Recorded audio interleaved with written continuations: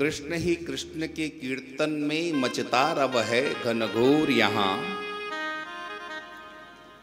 सुन लो सुन लो, यमुना जल में मुरली ध्वनिका वह सोर यहाँ।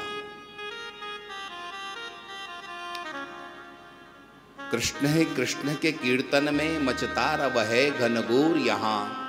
सुन लो सुन लो, यमुना जल में मुरली ध्वनिका वह सोर यहाँ। तरु राधे ही राधे पुकार रहे। खिस्ता मन है पर बरजोर यहाँ। कर प्रेम कोई लख ले उसको रहता अब भी चितचोर आज भी उस दिव्य वृंदावन में वह दिव्य कृष्ण का दर्शन होता है, लेकिन किसको? जिसका चित्त विशुद्ध हो, उसको। आप विशुद्ध मन से उस वृंदावन में जाओ, भक्ति के उतप्रोत मन से उस वृंदावन में जाओ। तो आज भी आपको उस वृंदावन में कृष्ण का दर्शन होता है। वह दिव्य वृंदावन है। गर्गाचार्य जी भगवान श्री कृष्ण के भविष्य कथन को यहाँ पर सुना रहे हैं। कभी ये वसुदेव का पुत्र भी हुआ था, इसलिए इसका नाम वासुदेव कृष्ण होगा। और देवी इसके बहुत नाम है, बहुनी संति नामानी, रूपाणी सुतत्सते। इसके बहुत नाम हैं, हर कोई नहीं जान सकता है। तान्य हम वेद नो जना सब कोई नहीं जान सकता है। मतलब क्या है? भगवान को जानना सबके लिए संभव नहीं है।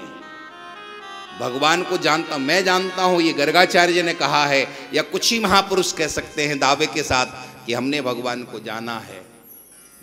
वाल्मीकि वाल्मीकि रामायण में वहाँ पर विश्वामित्र जी ने कहा था, अहम वेद में महात्मानम रामम सत्य पराक्रमम। दशरथ ये केवल तुम्हारे पुत्र नहीं है, ये कौन है, ये मैं जानता हूँ, और वशिष्ठ जी भी जानते हैं। क्यों? तपस्थिता, इनके जीवन में तप है, वो भगवान को जानते हैं। जिनके जीवन में तप होगा, साधना होगी, वही भगवान को जान सकते हैं। और यदि आपके जीवन में तप साधना का अभाव है तो उस परम तत्व को जानना थोड़ा सा असंभव है। महाभारत में लिखा है युधिष्ठिर जी से कहा था, भीष्म पितामह ने तुम्हारे सामने जो कृष्ण खड़े हैं ना ये, इन कृष्ण को केवल तीन लोग जानते हैं अच्छी तरह से। कौन कौन जानते हैं?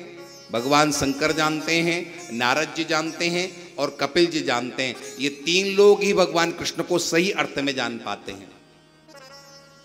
ये क्या करते हैं कि जान पाते हैं भगवान को? तो शंकर जी स्मरण करते हैं, नारद जी कीर्तन करते हैं और भगवान कपिल ध्यान करते हैं। यानी भगवान को आपको जानना हो तो या तो आपको ध्यान करना पड़ेगा या कीर्तन करना पड़ेगा या स्मरण करना पड़ेगा। यदि इन तीनों में से आपके जीवन में कुछ भी नहीं है तो आप भगवान को जान नहीं पाओगे।